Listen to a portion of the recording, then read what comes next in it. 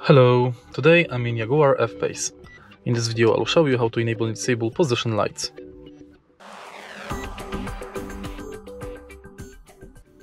In the beginning, let's take a look behind left side of the steering wheel.